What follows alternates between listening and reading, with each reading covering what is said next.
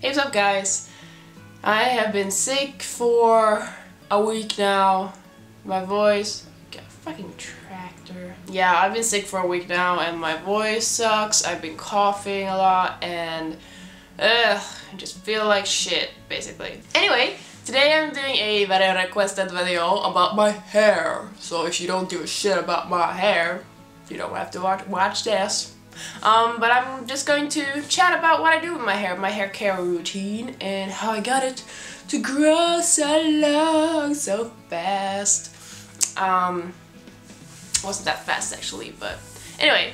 So I, when was? I cut my hair January this year. That was the last time I cut my hair. It looked like this. I cut it to about shoulder length, and I tried to even the color out a lot.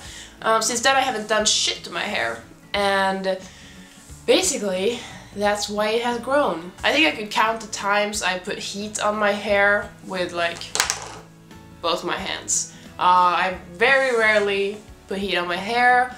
I've just like accepted its natural state and don't feel the need to straighten it anymore, uh, which I did a lot before.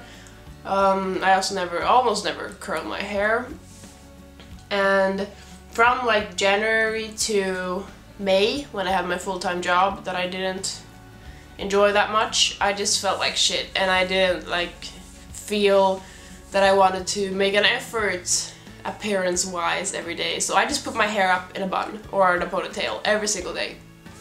And so I didn't really notice when it was growing. And then like one day when I let it out and maybe straighten it or whatever I was like, holy shit, my hair has grown so much. Uh, so that was a happy surprise. So the last thing I was thinking about, like the first six months of this year, was my hair.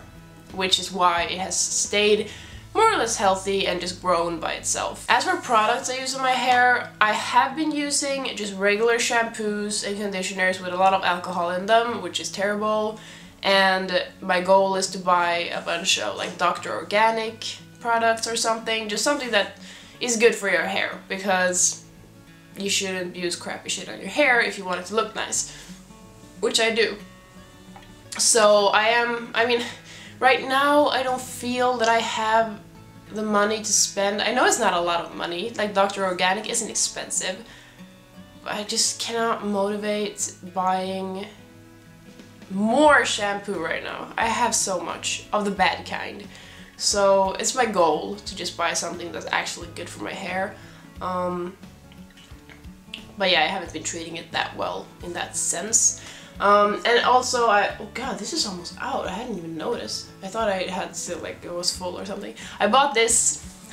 God, what was it? Two years ago. Um, it's the L'Oreal Elvital New Extraordinary Oil uh, for hair, and I put this in I take a shower, towel dry my hair, put this in, wait either wait for it to dry or blow dry my hair. Usually I just wait for it to dry unless I'm going somewhere. Um, and when it's dry, I just put it in the end, like uh, lengths, to kind of make them look a little bit more hydrated. And yeah, I use this a lot, clearly. It's all out, almost.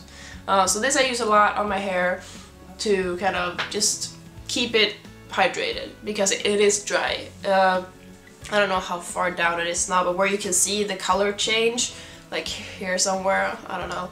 Uh, this has been bleached a billion times and this hasn't.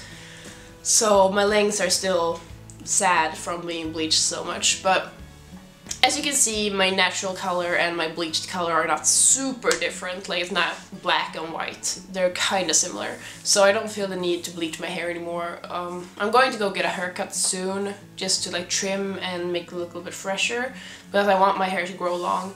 And uh, yeah, that's basically all there is to it about my hair. Uh, I'm not a hair person.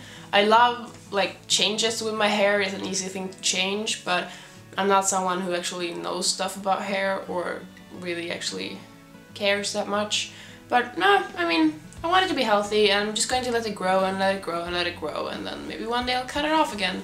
But that's all I do with my hair. The trick to having healthy hair is basically do nothing to it. Just let it grow, use good products on your hair, with no alcohol. That I've learned. uh, and if you check in the back of all the products you're using, probably it says like the third thing on the content like list will probably be alcohol because it always is, and that's bad. I've learned. So I must stop using alcohol on my hair. Sorry to disappoint if you wanted some kind of miracle thing. Uh, yeah. The miracle thing is doing nothing. Just be nice to your hair. And heat protection, I mean, that just adds more shit to your hair. And then you put heat on it and I'm gonna ruin it anyway. I'm not saying don't put heat on your hair. People put heat on their hair. I blow dry my hair too. I straighten my hair too sometimes. That's okay. If you do it every single day, your hair won't be too happy about it, so maybe let it rest sometimes. Swedish word of the day is healthy. Like healthy hair. Swedish word for healthy is hälsosamt. Or hälsosam. Depending on the word, but that's overkill. Uh, hälsosamt hår. Healthy hair. I hope you guys liked this video. If you did, don't forget to, what? Thumb it up if you did. Uh, check out my links in the description below. Subscribe, check out my links, blah blah. Until next time, have a super duper good one, and I will see you guys later. If you have any questions about my hair, comment below.